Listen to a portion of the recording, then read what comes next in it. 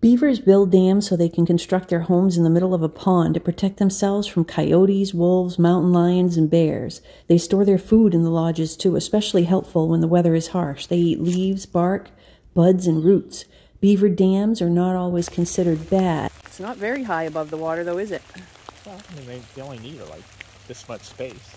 However, in some cases, they may cause flooding, damage to homes, infrastructure, trees.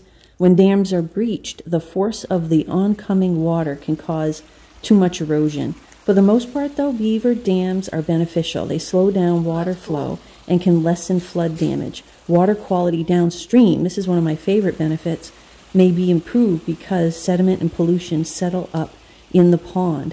Finally, beaver ponds can serve as a habitat for amphibians, birds, fish, and other aquatic wildlife.